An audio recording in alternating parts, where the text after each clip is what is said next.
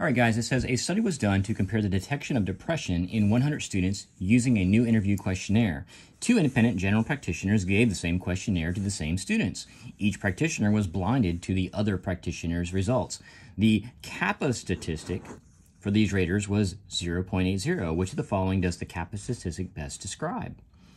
So, really, whenever you see these kind of questions that may say kappa statistic, and I'll just put this one right here. So we have the the uh, kappa statistic, more specifically the Cohen uh, Cohen's kappa. And then we have this thing called the uh, Kendall's uh, tau that you may see, and then you'll have this one called the Pearson's uh, Pearson correlation, and we've seen that a lot uh, with some other videos. So, but these are the three that you got to know for the step exams. Again, the kappa statistics, the Kendall taus, and then the Pearson correlation. And all three of these basically you know, think about like this. They're all there to answer the question is, uh, are the ratings, you know, are the ratings on whatever scale, whatever test, are they reliable? Okay, that's ultimately what these things do. Now, the well, they may ask a question is, well, how do you know when to use kappa? How do you know when to use Kendall taus? And how do you know when to use the Pearson's correlation? You know, they may ask it working backwards.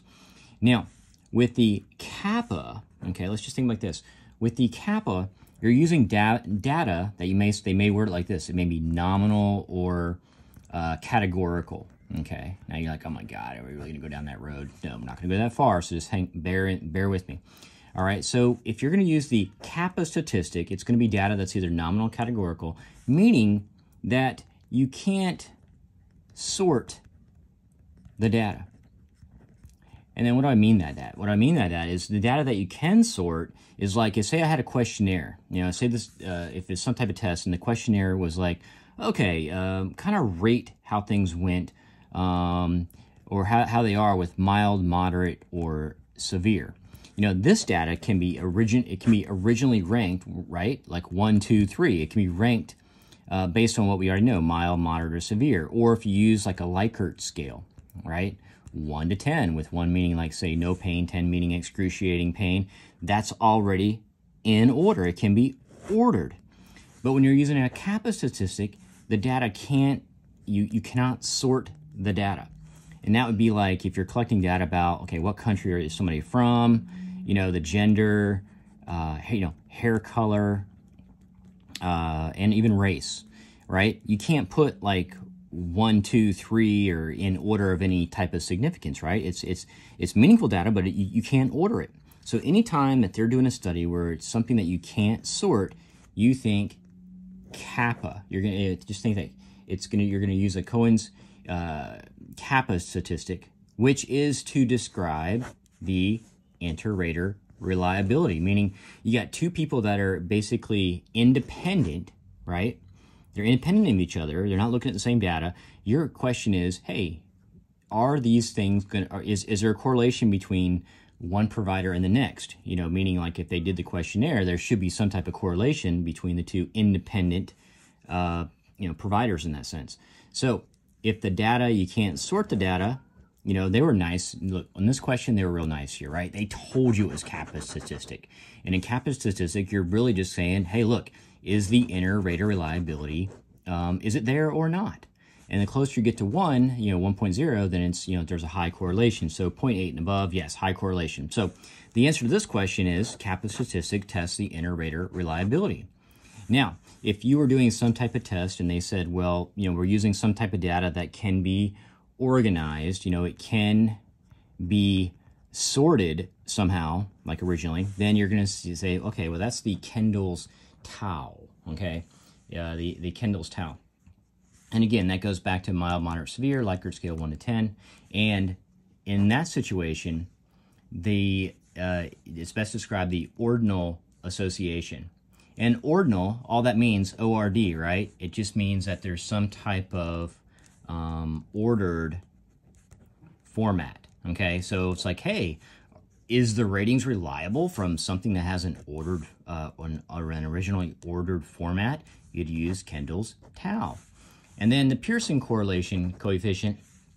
Now you've seen this a million times, right? Because that was that original video that I did. I, you know, I didn't go into full full detail, and so it looks like I messed it up uh, way back when. Okay, And so you'll see this, right? And I'll make a short video on that. So if things go down to the right, you know, there's a, perhaps the line is a, it's a negative. And if the data is not, well, let me say it, if the data is not on the line, it's not tightly correlated, you know, you're looking at, you know, 0.6 or something like that, right? for our purposes.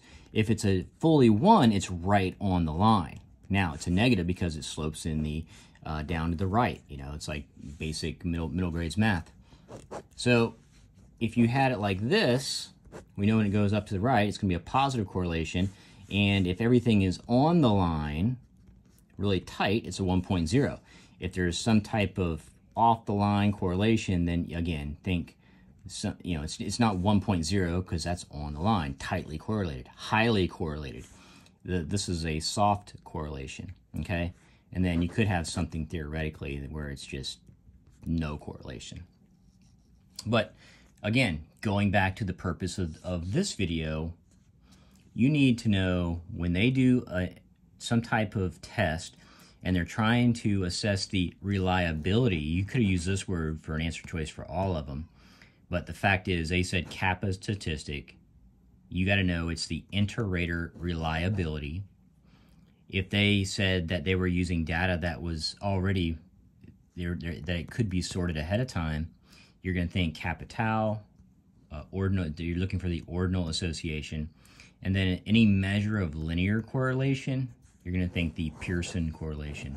So the key words, the key takeaways on this, I can tell you this: if they're going to ask you a Pearson's correlation coefficient, they're going to give you a graph.